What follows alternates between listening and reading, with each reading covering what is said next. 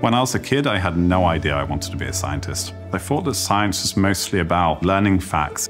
Actually, science is really creative. When I finally realized I could actually create new knowledge, but also make a wider difference in the world, that was when science really became a massive passion for me and it was genuinely exhilarating.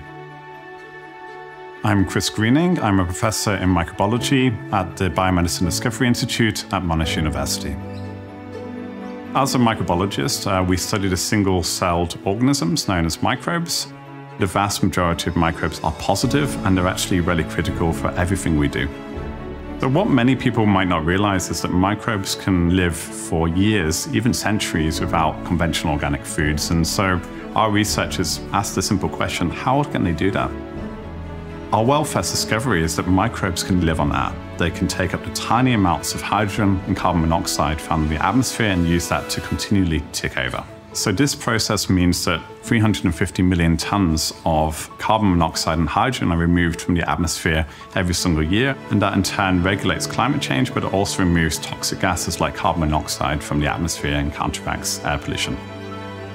Through this research, I became a chief investigator of the organization called Securing Antarctica's Environmental Future.